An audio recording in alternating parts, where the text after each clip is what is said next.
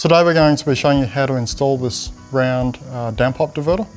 So it's a great product if you want to collect water off one downpipe in particular, especially if you want to run it to a rain barrel or an IBC or another sort of water collection device.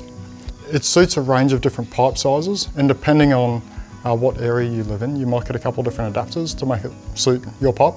Uh, so this one's 90 millimeter pipe, but it also suits uh, 80 millimeter, 65 millimeter pipe, as well as uh, three inch SDR35 and Schedule 40 pipe. So the first thing we're going to do is figure out where we're going to put this. So it's a glueless installation, so when we put it in we're going to have the chance to swivel it around. Um, so we've got a bit of flexibility there.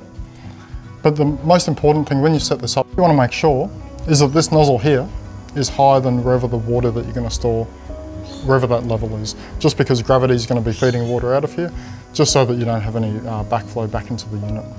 So if we've got a rain barrel, for example, Let's say our rain barrel is about this high. We just want to set this up so that the nozzle is just a little bit lower. Um, it could be 10 millimeters, an inch lower, uh, just to make sure that your rain barrel doesn't overflow.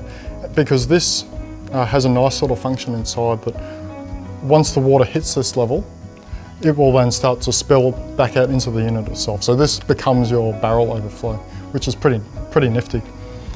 So what I'm going to do first, I'm going to choose that as my height. I'm going to make my cut first and then we're going to uh, start installing it. Now that we've made our first cut, we've got to make the second one where the slip coupling is going to end up fitting into. So depending on what country you're in and what size pipes you've got, uh, because there's adapters that might be included, some of those dimensions might be a little bit different. Some of them might be a little bit higher or a little bit lower just to fit the actual adapter in. So just make sure you have a look at your instructions just to double check that dimension. It's pretty clearly outlined, so it's easy to tell. For this 90 millimeter version though, I need to cut uh, 210 millimeters up. Now that you've made that cut, uh, just deburr it, just if there's any loose bits of plastic hanging off the edge, just scrape them off. Uh, you need a, a blade or a screwdriver to knock them off, that's fine too. The next thing we're going to do is install the unit. So it just slips into position. We put this top collar in first. Now if you've got a pipe which is not 90 millimeter pipe, if you've got 65 millimeters for example, just double check your instructions. You might just have to glue the adapter on first and that will just end up taking it to that 90 millimeter size. Uh, likewise with some of the other sizes. So just double check that piece of the instructions first. If you've got 90 millimeters though, we're going to just slip this in all the way up. Now you can see in there I've got that blue flow director. Make sure that's in position. I'm going to slip it up. I'm going to get the, the main body and you can see that everything's seated nicely in there so just double check that before you put it in.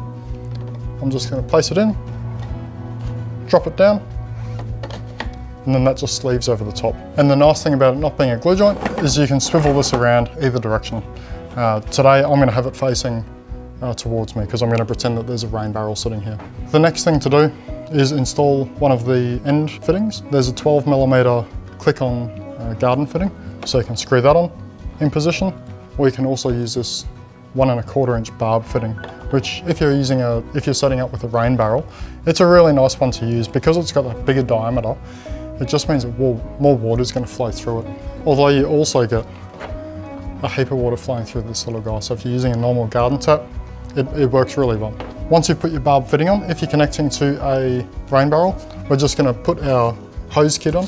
Now the hose kit comes as a, as a separate kit, so depending on what your rain barrel setup is, ours might be the perfect one for you. The nice thing is that this diameter suits our barb fitting beautifully. So we're just going to slip that on and do it up. Uh, so now that's all set up perfectly.